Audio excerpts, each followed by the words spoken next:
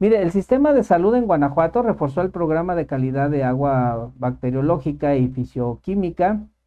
Lo anterior tiene el propósito de hacer una vigilancia de calidad de agua para consumo humano y también contribuir a distribuir los, los factores de riesgo a la salud, esto de la población guanajuatense, iniciando para que las instancias eh, responsables y de suministro de agua controlen las sustancias tóxicas que pueden contener daño a la salud de quienes pues las ingiera o utilice y las para, evitar estas enfermedades infecciosas y también parasitarias pues pueden ser transmitidas por este, este, consumo de agua.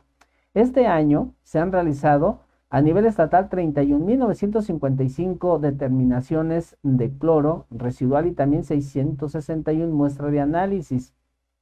Decirle que pues en este, en este periodo pues se han realizado también eh, importantes muestras de agua con metales pesados, 422. Al respecto, el secretario de Salud, Daniel Díaz Martínez, explicó que el agua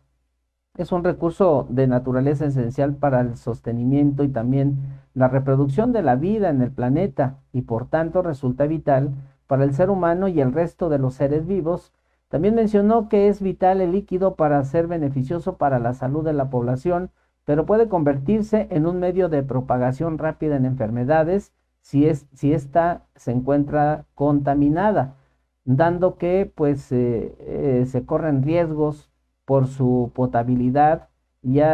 y, también se ve afectada por un mal diseño de las obras del sistema de agua, por la mala operación y también por el mantenimiento eficiente, es decir, estarán ellos al pendiente sobre todo con los sistemas operadores de agua para pues eh, eh, intervenir, darles alguna asesoría, alguna orientación respecto a qué se debe de utilizar para el buen manejo y sobre todo que llegue la calidad de agua a las viviendas, a las empresas, a los negocios, para evitar precisamente la infección en las personas.